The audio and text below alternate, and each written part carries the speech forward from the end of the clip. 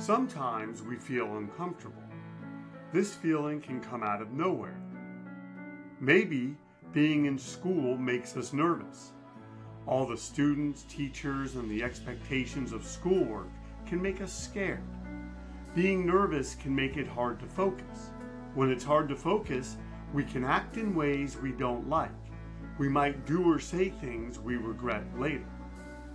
Maybe being in loud places with a lot of people makes us nervous. Again, this is okay. Whether you're at a carnival or at school, let a trusted adult or a good friend know how you are feeling. They will help you be comfortable. They will show you that it's okay to be nervous and that you'll get through it. Maybe you're outside and you feel fine. Then suddenly, something comes into your head and you feel nervous and anxious. This is okay.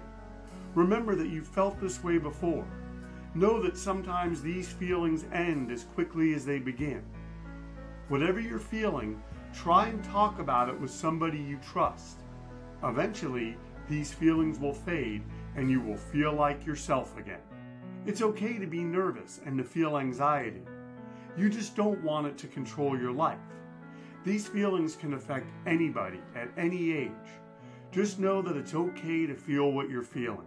Also, know that talking about it and facing what makes you nervous will make these feelings more manageable and allow you to have more control over them.